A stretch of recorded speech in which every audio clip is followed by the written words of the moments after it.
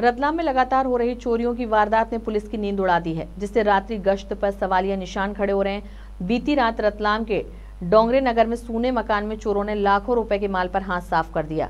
डोंगरे नगर में रहने वाले राजस्व विभाग के पटवारी वीरेंद्र सोलंकी के मकान से अज्ञात बदमाश करीब 20 तोला सोने के आभूषण और 5 लाख की नकदी चुरा ले गए। पटवारी वीरेंद्र सोलंकी अपनी भतीजी की शादी में परिवार के साथ 10 तारीख से झाबुआ गए हुए थे। जहाँ बीती रात बदमाशों ने सूने मकान की खिड़की की ग्रिल तोड़कर चोरी की वारदात को अंजाम दिया। चोरी की जानकारी सुबह पड़ोसियों को उस वक्त मिली जब वह पौधों में पानी डालने के लिए पहुँचे थे। पड़ोसी ने तत्काल उनको फ़ोन पर चोरी की सूचना दी और सूचना मिलने के साथ ही वीरेंद्र सिंह सोलंकी रतलाम के लिए रवाना हो गए थे। बहरहाल चोरी की बड़ी घटना की सूचना मिलने पर दीनदयाल नगर थाना पुलिस की टीम मौके पर पहुँची और घटना स्थल की जाँच की। पुलिस ने मामला दर्ज कर चोरों की तलाश शुरू की है।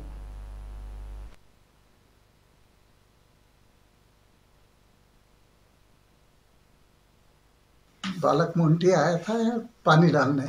जी। तो उसने देखा थोड़ी सी खिड़की खुली दिखी उसको डाउट हुआ तो उसने देखा साइड से ग्रिल रखी थी। जी। फिर उनको सूचना करी। इसके अंदर क्या कुछ आपको गया है जानकारी लगी है? नहीं वो आइडिया नहीं है अंदर क्या था।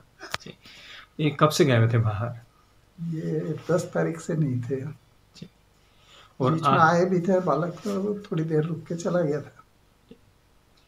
ये किसकी शादी में और कहाँ गए हुए हैं? ये इनके भाई की लड़की की शादी में झाबुआ गए थे।